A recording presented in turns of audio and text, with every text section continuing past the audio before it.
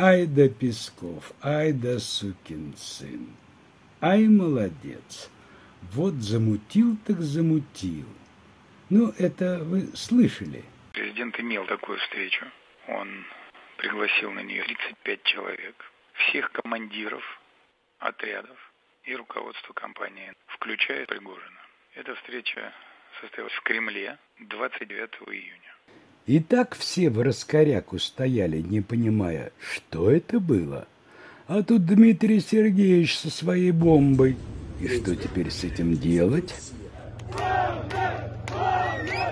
Понятно, что не прихоти ради, а токмо волею протекшего из Кремля инсайда Песков приподнял ковер, под которым бульдоги грызутся – Вроде как источник из Либерасьон дал наводку, вот и пришлось на неудобный вопрос отвечать.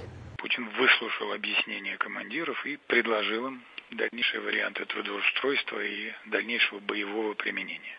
Сами командиры изложили свою версию произошедшего.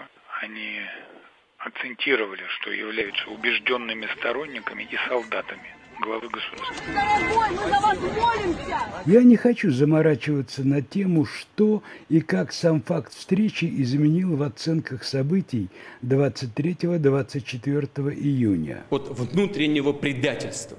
Непомерные амбиции и личные интересы привели к измене.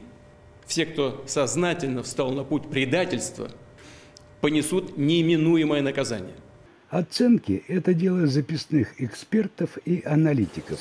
Только пуля в лоб – единственное спасение. И для Пригожина, и для Уткина. Деньги, глупые и непомерные амбиции. Ну, да, наверное, взял бы Украину сзади. Правда, Бахмут брал 200 с лишним дней. Такая организация должна быть немедленно расформирована. Но вот какое дело – не успел я свою реплику по поводу тайной встречи подготовить, как Карен Шахназаров меня опередил и ремарку мою в студии у Соловьева озвучил. Почти дословно. У меня вопрос. Я абсолютно уверен, что если бы президенту правильно доложили до 24-го, да, когда это было, он бы встретился и до этого. И тогда точно никакого так называемого мятежа не случилось бы. Ну, значит, ему не было правильно доложено о накале ситуации. И тогда, возможно, ничего бы и вообще не было. Больше всего мне в этом пассаже нравится фраза «Значит, ему не было правильно доложено». М да.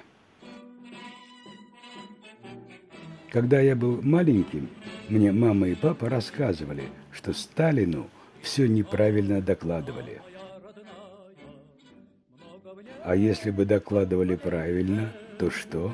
Я другой такой страны не знаю, где так вольно дышит человек. Я другой такой страны не знаю, где так вольно дышит человек.